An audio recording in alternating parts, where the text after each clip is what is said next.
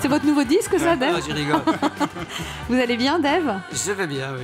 Je Ouais. suis en train de penser qu'on est encore au, au mois de mai. J'ai lu avant-hier, euh, parce que mon anniversaire c'était le 4 mai, trop tard pour les Ah. cadeaux. J'accepte encore. Vous avez eu 18 ans Euh, euh, oui, et des poussières, beaucoup de poussières. eh bien, c'est le même jour de l'anniversaire de Junio, Ouais. Yves Lecoq et Rocco Siffredi. Donc je suis mélange des quatre. Rocco Siffredi Dave, votre vrai nom, c'est Wouter Otto Levenbach. Wouter, Wouter. Comment on dit? Wouter, c'est Gauthier en français. Alors, depuis 45 ans, Dave, vous faites partie de la vie des Français. Vous comprenez les Français. Les Français vous comprennent, malgré, J'espère. On peut pas toujours. malgré votre léger accent, hein, pour vous faire comprendre du public. Je crois que vous avez un truc, en fait. Et pour que tu me comprennes, s'il faut te dire que je Patrick Loiseau. Et c'est parti. Et oui, votre truc, Dave, pour garder un public qui prend de l'âge, c'est de chanter plus fort, c'est ça? Non, c'est de, de donner de la joie. Dave, on a tous grandi avec vos chansons. On n'imagine pas le nombre de Vanina qui ont été conçues sur votre C'est chanson. vrai, il y a même des petits devs. Et en même temps, vu que la chanson ne dure que 3 minutes, hein. alors Vania, ce sont des serviettes hygiéniques, Vainé, c'est de la levure, mais Vanina, c'est qui? Vanina, c'était, malheureusement, elle plus là, c'était la meilleure amie de mon parolier et, et- et compagnon. euh, Avec vous, Dave, on a souvent la nostalgie souriante. Bien refaire un tour du côté de chez soi.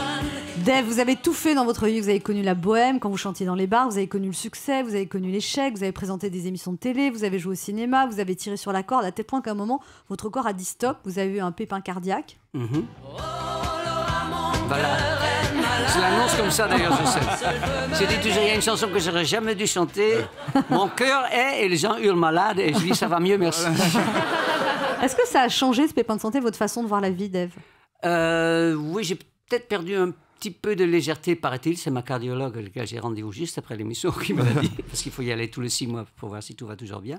Mais c'est une opération formidable et bien réussie. Aujourd'hui, c'est lourd, mais après, c'est fini. quoi. C'est c'est Marc-Olivier Fogel qui vous a sauvé la vie, en fait. Sa sœur, qui est cardiologue. ouais. Oui, mais vous étiez dans un dîner avec lui. Exactement. C'est lui qui m'a dit, il faut que tu ailles voir ma sœur. Je savais que sa sœur Non, mais vous lui avez dit j'ai mal dans le bras gauche et vous, Ouais. vous, avez- vous aviez pas du tout pensé au cœur en fait. J'ai pensé à un mouvement qu'on fait avec le bras gauche régulièrement Ouais. le matin.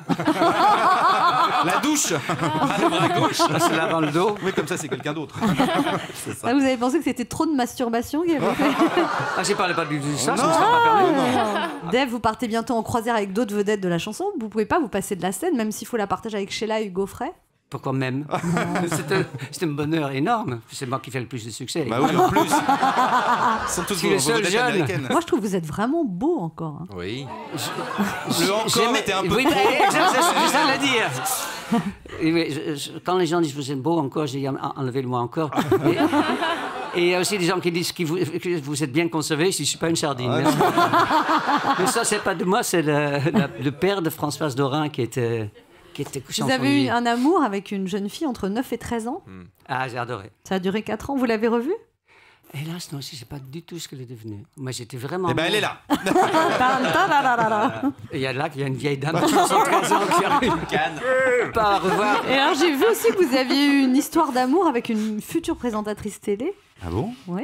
Ah, t'es pas présentatrice euh, avec euh, Olivia Adriaco, ouais. ouais on sait- Ah, c'est Olivia belle. Ouais, Adriaco. c'est pas un secret parce qu'on on, on le sait Je tous les savais. deux. Non, mais je Moi, je ne le savais pas. Son mari le sait toujours pas.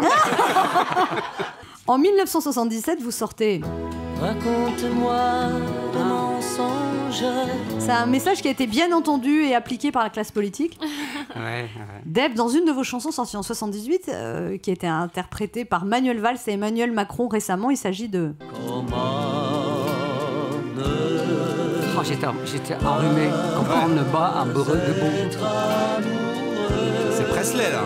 Absolument. Can't help falling in love with you. En 1979, Dave, vous sortez. Et là, c'est une chanson qui écoute en boucle François Bayrou. Pour vous, Dave, Emmanuel Macron, c'est plutôt. Je suis un marchand de rêves.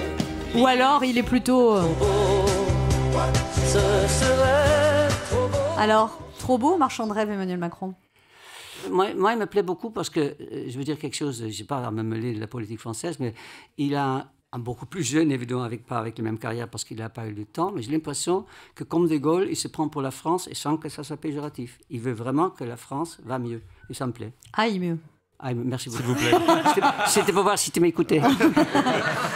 Euh, Dave, donc vous avez envie de croquer Emmanuel Macron à la sauce hollandaise. Ah, pas mal. En tout cas, nous, on en bouffe matin, midi et soir du Macron. On frôle l'indigestion. Ouais. Même quand je ferme les yeux, je vois Macron et je me demande. Est-ce par hasard Alors, Édouard Philippe a été nommé Premier ministre. Macron doit se dire oh là là, pourvu qu'il ne soit pas. la cigarette qui brûle mes doigts En fait, il doit être un peu stressé, Emmanuel Macron, en ce moment. Quand il rentre chez lui, il doit se dire Ah, France, que dois-je faire pour que. que tu me comprennes? Oh, S'il faut te dire que je t'aime Alors, votre seule manif, Dave, c'était pour le mariage pour tous. Et pourtant, vous n'êtes pas marié après 46 ans de vie commune. Comment on fait pour rester 46 ans? Moi, j'ai craqué au bout de 25 ans. Euh, Quand on a la chance de rencontrer ce qui s'appelle si, si joliment en français les personnes avec lesquelles vous avez les atomes crochus, il faut le garder, sinon les molécules tombent en miettes. Comment vous faites pour surprendre votre compagnon au bout de 46 ans, Oh, si vous saviez, mon pauvre. Il a des déguisements. Vous êtes déguisé vous faites Pensez à Rocco Siffredi. Non, non, je- non, ça se passe évidemment. Non, mais je, trouve, je ne vais pas ouvrir un bureau de conseil matrimonial non plus. hein. mais euh, on, a, puis on a passé par tous les stades. Et c'est vrai que ce qui est bien fait dans la vie, c'est quand on vieillit, ce qui est mon cas évidemment comme tout le monde, plus on, plus on vieillit, moins on a envie. Et puis les autres ont plus du tout envie. de. Donc c'est vachement bien fait, quoi. On, on est dans les mers calmes. Tout ce que je sais, en tout cas, c'est que dès que je vous vois, Dave.